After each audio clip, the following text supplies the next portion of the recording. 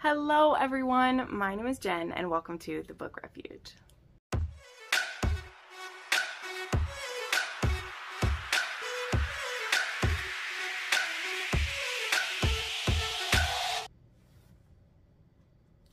Alrighty, let's dive right into this recommendation. As you, I'm sure you can tell by the title, we are going to be talking about adult clubs. Um, this was a recommendation by a viewer, um, but it's also something that I realized I hadn't made in a while. So just by the nature of the kind of clubs we're talking about, this one is basically a BDSM rec video, except for one of the books like honestly, except for one of the books, these all are going to involve kinky or BDSM. So if you're not into that stuff, just, you know, save it for another video because generally when there is a sex club, it's going to have those aspects included. And again, I only have one book that isn't. And we'll start with that one and then we'll just get into these because I know a lot of you, you know what happens at the clubs and you're okay with it. So the first one I actually want to recommend is Falling into Bed with a Duke by Lorraine Heath because this one has this club that is actually, it's called the Nightingale Club and it's where women can go and they're in control. Like they get to choose who they spend the night with, they get to keep their anonymity, and they can meet partners and, you know, be free to do what they would like without fear of being, you know, um, Victorian canceled, is what we call it, right? Um, actually let's see what time period this one is yes victorian is where we're in for sure um, but this one we have minerva dodger who if you are into the Lorraine Heath world, you know that she's the daughter of a hero from another series that we have. Um, but she's a spinster. She has plenty of money. Her family is providing for her, but she hasn't found someone. So she wants to have a intimate affair, basically. So she wants to choose a lover. So she dons a mask and goes to this Nightingale Club where she meets meets the Duke of Ashbury. Now he has a very interesting I mean, let's call it a kink because why not? We're on the book refuge, we can do that. But he likes to photograph women, particularly their feet. Um, not only is photography really new in the time that this is taking place, but wanting to photograph like intimate parts of someone's body is definitely not like allowed anyway. And so, she won't like trust this man with who she really is, but she's very intrigued by the things that he'll like offer her at this club. So this one was very fun. This was one of the like like first Lorraine Heath that I'd read. I hadn't read too many before this one and I just loved how unique it was. And it really became something of a staple, obviously. I mean, Lorraine Heath has been doing that for years. It was just new to me how unique and different some of her plots were. So, yeah, if you want one that isn't completely kinky and over the top, like, well, here's one for you. It's a little bit of Victorian kink, you know, which can be soft. Can be soft. Um, going through, let's just do another um, historical series, why don't we? And we have the Fallen series by Nicola Davidson. So this is one that I actually read the second book first because it had a submissive hero in it. So these are some novellas. This is cute. Um, and this is about the, um, what is the club called? It has been, it, I think the club is just called the Fallen. I don't know. Let me look here. It's been a long time. I can't remember. But anyway, there's these men who run the club. They all co-own it together and it's a scandalous pleasure club in London and there are different fun kinks that happen in them. There's like role play in some of them. There's dressing up. In this one, there's a hero who likes to be um, disciplined and he has like hidden that from his wife and kept it a secret because he feels shameful about it, which is very interesting in the fact because he's co-owner of a sex club. You think he wouldn't have to be so like fearful of it, but you know, he is. And then we have um, the seduction of Viscount Vice. So this one was fun too. So here's three different little ones. I don't fully remember what like each one of them was about, but uh, Christy actually gifted me this one. Christy, you're too sweet. That's funny. I was looking at the insides of these. So that's great. I love it. But anyway, there's three little quickies that you can read. By the way, I will have all of these videos I'm talking about linked down below if you'd like to get them on Amazon, whether the Kindle version or you want to buy one, they'll be listed there.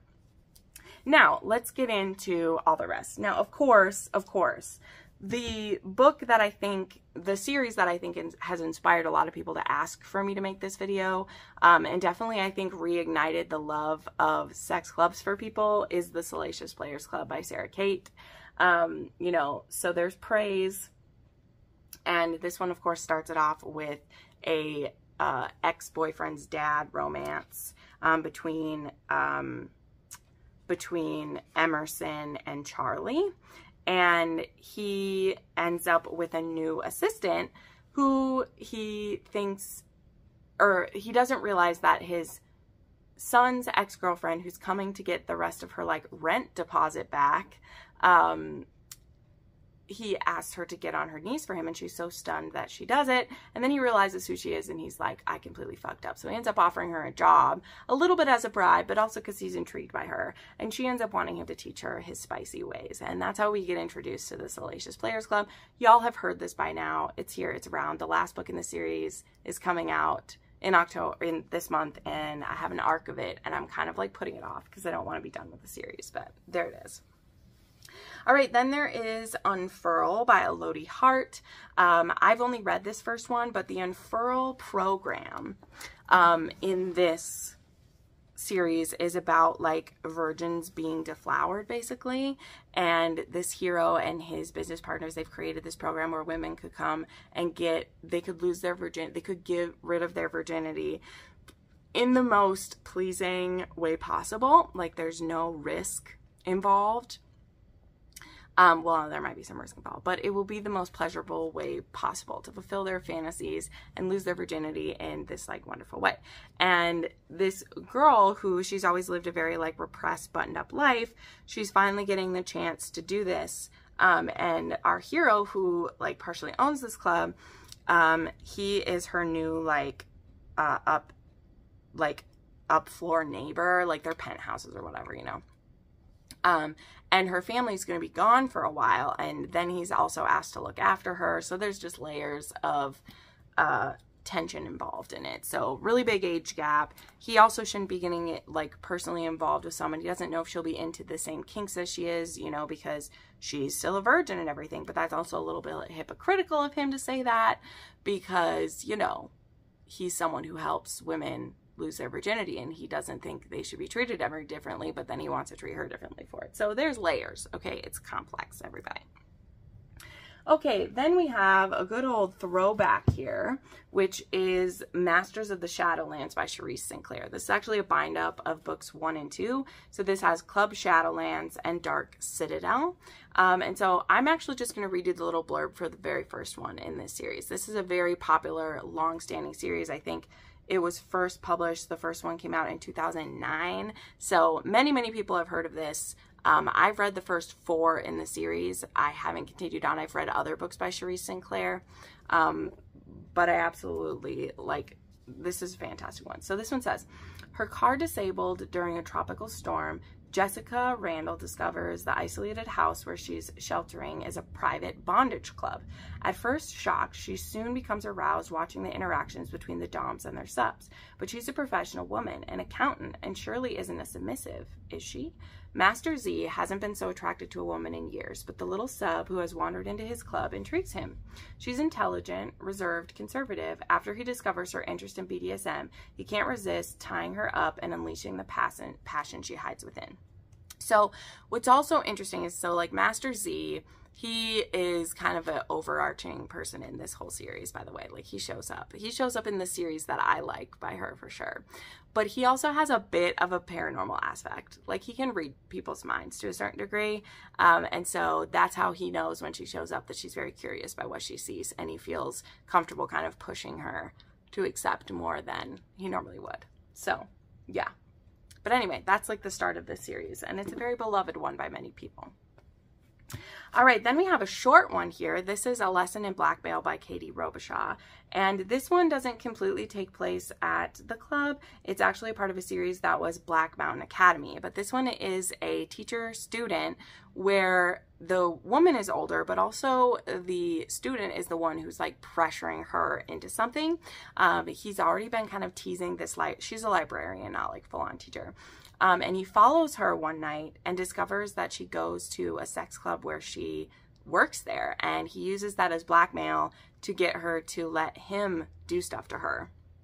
And but what makes this actually really beautiful, this is a very short book, it really is, but what makes it really beautiful is that he actually wants to be really good at being a dom and so he agrees to take like the classes to become good because this also connects with a series by Katie Robichaud that takes place at this sex club the club alias series.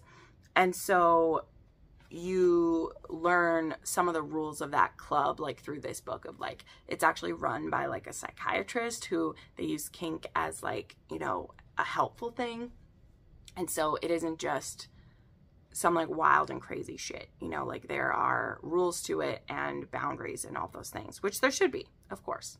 Of course there is all right then we have another series that is well well loved and absolutely deserved to we have the voyeur series by Fiona Cole. This is the fifth edition anniversary copy that I got when I went to Book Bonanza, which is great. So it actually has a bonus story that I still haven't read yet. I've been like saving it to read for a good time. It has like a Christmas story in it and everything.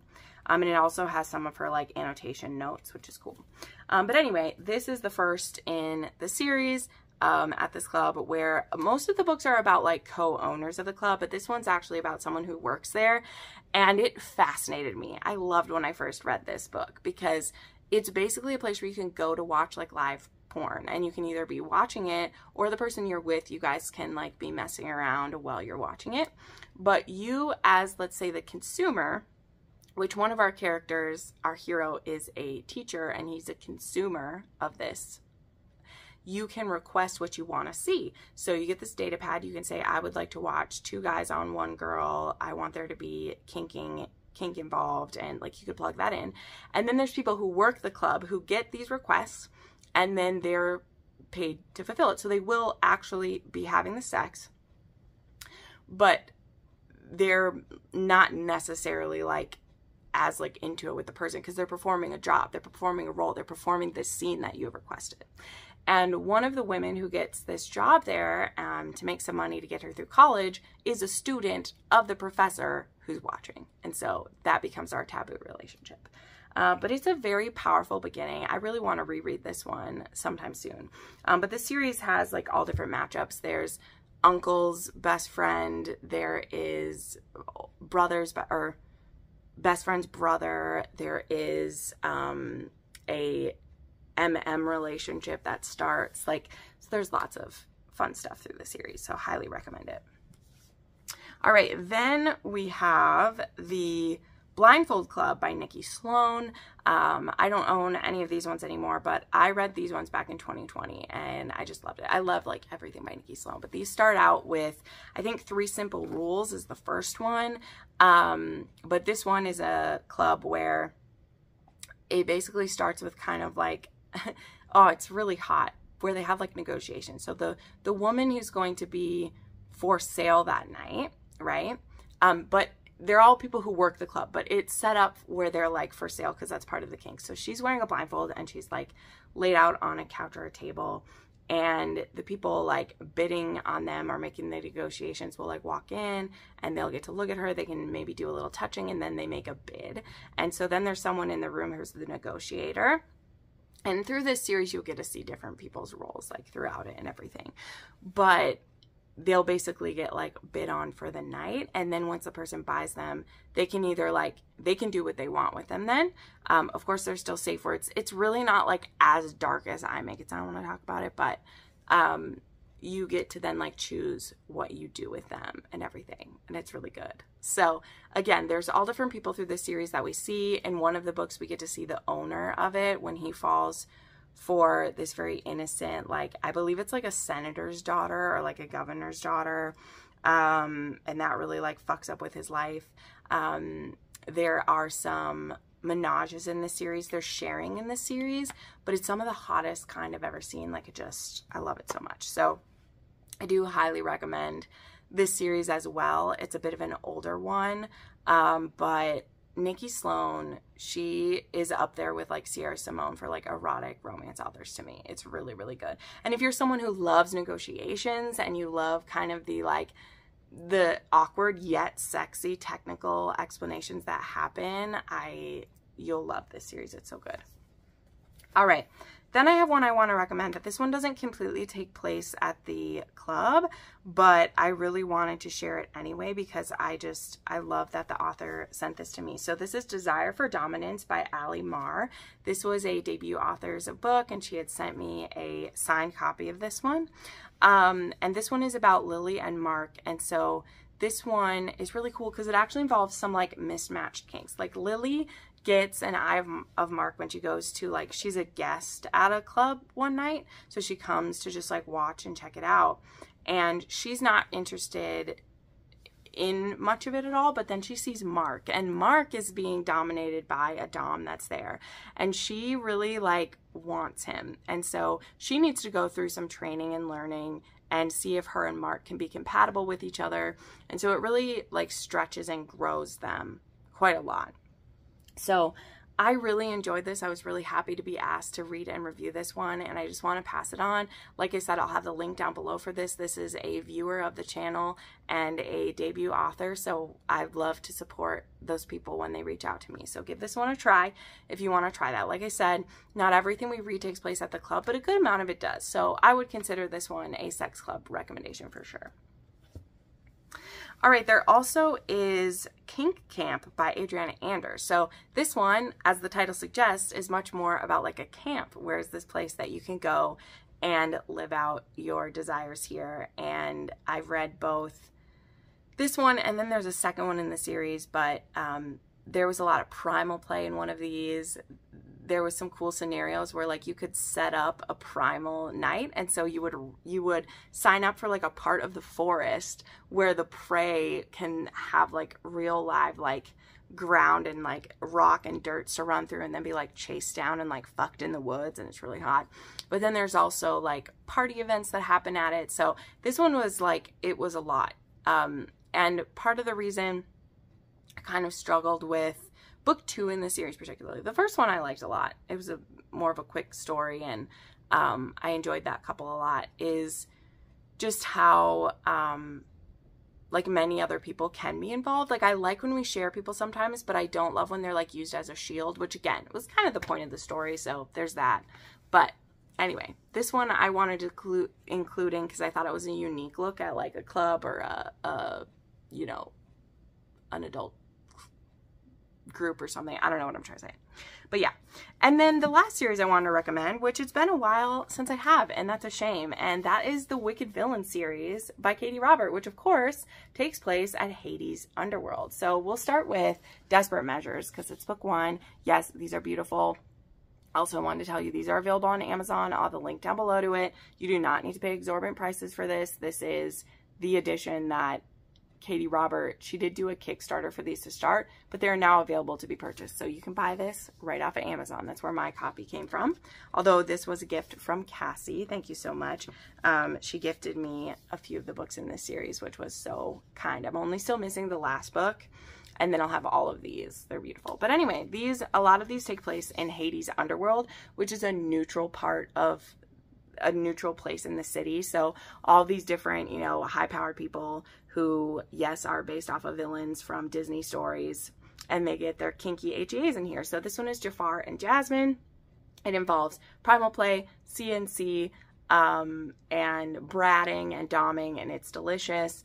Um, her father has just been overthrown, and now Aladdin, he's kind of the villain in this one. He wants Jasmine to be his, but she's always wanted Jafar, and now he has the chance to take her. So again, this one is like, it's consensual non-consent, and you will really see the line of how Katee Roberts set that up, which is great. But then I also wanted to share Learn My Lesson, which is book two, and this one really takes place at the club like the whole time because it's Hades and Meg, and they've been together for a long time. They have a very complex relationship, and as like a gift, Hades like gifts her Hercules. Um, but it's not just to be nice. He also wants to get back at Zeus. Um, this series does transcentually connect with her Olympus series. I'm not the one to explain how it does, but this is the book that really kind of crosses over with that.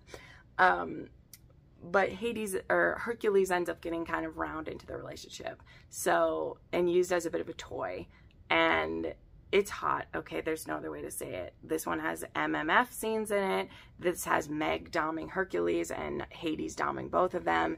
And it's beautiful. It's beautiful. I love this series. Um, it's my favorite, or this series is my favorite by Katee Robert of everything she's done. So I highly recommend. So there you go. Those are my recommendations for adult slash sex clubs. Let me know some of your favorites. Um, I definitely have some other like BDSM recs that also like fit into this, but these are the ones I wanted to bring up to you. So thank you so much for watching, my friends, and uh, I'll see you in the next one. Bye.